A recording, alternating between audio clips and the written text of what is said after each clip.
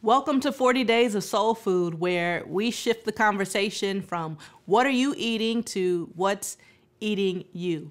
I really do hope, um, you know, in good faith, that you've been enjoying this journey so far.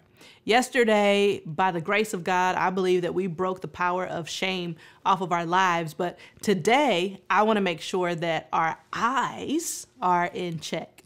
Psalm 119, verse 37 says this it says, Turn my eyes from looking at worthless things and give me life in your ways.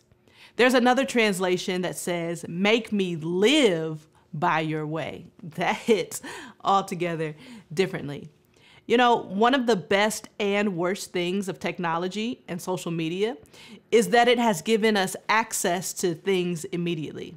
Yeah, I said it. It's like the best and worst thing ever, right?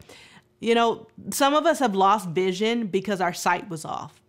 Looking at what other people have and what others are doing more than taking inventory of your own personal life and what you need to be doing. It has a lot of us actually way off base. You know, you're looking left and you're looking right, and you start falling uh, into this trap of comparison.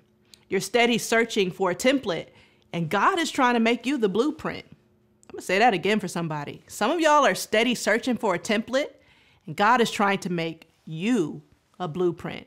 God never called you to look at that. That's why we can cry and shout, God, give me vision. God, give me a revelation. I need a vision for my life. I need a spouse. I need a promotion. Help me see right.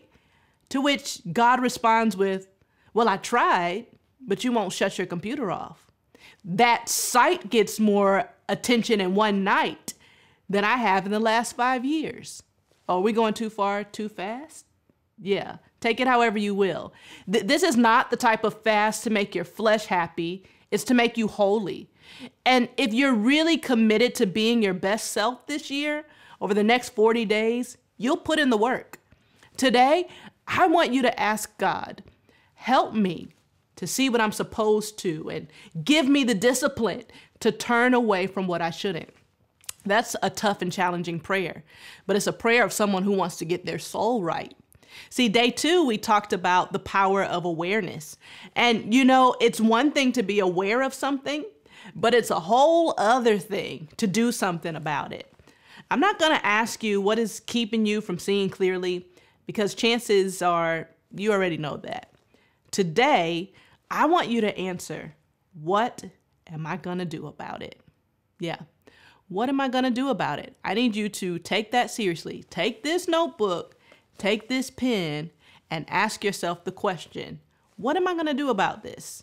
So I want you to take an inventory of the worthless things that are going on in your life and ask yourself the question what will I put in place to discipline me to turn away from what I shouldn't be singing?